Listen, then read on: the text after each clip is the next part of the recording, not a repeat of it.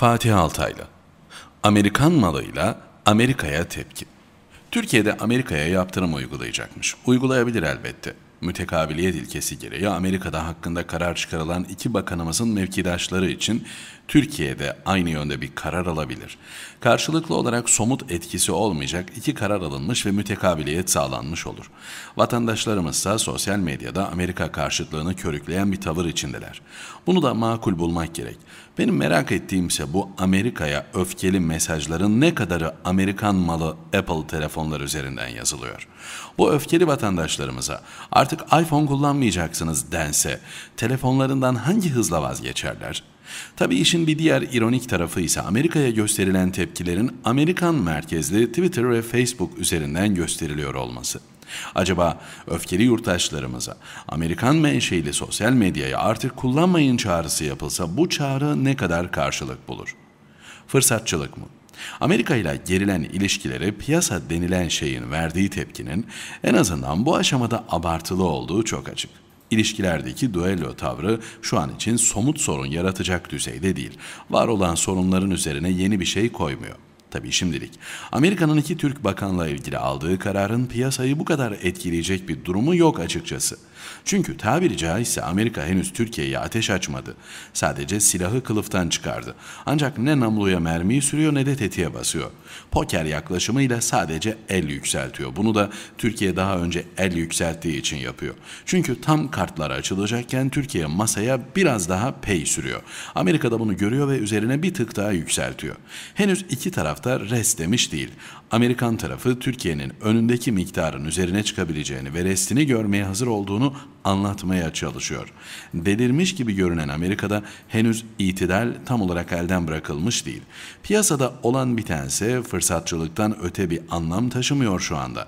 Bu aşamadan sonra taraflar için onurlu bir çözüm var mı hala derseniz var.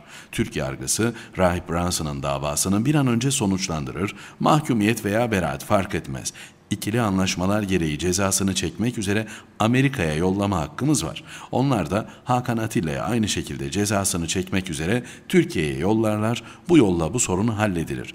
Ama aradaki tek sıkıntı bu değil elbet. Ama acil olan bu. Çünkü Cumhuriyetçi Parti'nin rahibin Amerika'ya gitmesine çok acil ihtiyacı var. Niye iç siyaset malzemesi? Bazı okurlar Rahip Brunson meselesinin Amerika'da iç siyaset malzemesi olarak kullanıldığına ilişkin yorumuma itiraz etmişler. Diyorlar ki tespitiniz çok yanlış. Ortalama Amerikalı Türkiye'nin haritadaki yerini bilmez. Türkiye ile ilişkiler Amerika iç siyasetinde kullanılacak kadar önemli değildir. Bunu söyleyenlerin anlamadığı şu. Mesele Türkiye değil. Mesele evangelist rahip Brunson. Amerika'daki en yaygın cemaat evangelistler. Kimine göre 70 milyon, kimine göre 100 milyon evangelik var Amerika'da ve Türkiye'deki tarikatlar gibi bunların da siyaseten birlikte hareket etme potansiyeli var.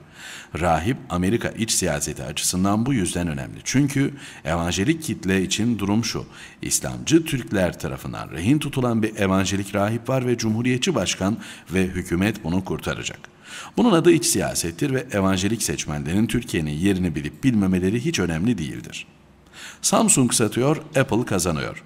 Apple'dan söz etmişken Amerikalı dev hakkında bir iki gerçeği de hatırlatmakta fayda var. Her ne kadar Güney Koreli ve Çinli rakiplerinin mobil telefon pazarında Amerikalı Apple'dan daha büyük bir pazar payına sahip olduğunu bilsek ve tekrarlasak da Apple'ın durumundan çok da şikayetçi olduğunu zannetmeyin. Apple'ın iPhone'u dünya akıllı cep telefonu pazarının %15 ila 20'si arasında değişen bir pazar payına sahip. Satış sayıları açısından pazar lideri Samsung olsa da karlılıkta Apple açık ara önde. Apple toplam satışların %19'una yakın bir pazar payına sahip olduğu dönemde toplam karlılığın %86'sını elde etmiş. Çok eleştirilen iPhone X modeli tüm sektörün elde ettiği karın %35'ini tek başına kazanıyor. Sektördeki karın %19.1'ini ise iPhone 8 tek başına elde ediyor. Karlılıkta ilk 10 telefonun ilk 5'i iPhone'lar. 6. sırada Galaxy Note 8 ve karlardaki payı 3.9. 7. sırada ise Samsung Galaxy S8 Plus var. Onun da payı 1.7. İlk 10'daki 8 ürün iPhone markası taşıyor. Fatih Altaylı, Habertürk.